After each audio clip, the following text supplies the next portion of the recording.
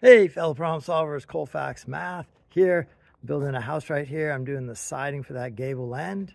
I teach both high school woodshop and math, and today I'm going to do both those skills and really kind of point out how important math is when you're building architecture, design, anything like that.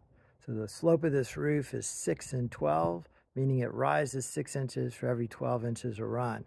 I need to cut the angle for that vertical siding that's going on that gable end. So the way I do that is I take the second tangent of opposite over adjacent. Let me show you on a piece of paper. On that gable. So here's a box right here. There's my roof pitch, right? It rises six when it runs 12, pretty standard pitch. So I don't do tangent, I do second tangent. So I go tangent to negative one of the opposite over the adjacent. I could reduce that to one half and I get 26.5 degrees. I got to make sure I'm in degree mode. There are two modes on your calculator, both radian and degrees, but you want degree mode. All right, now that I have that angle, I go over to my miter saw right here, and I set that angle.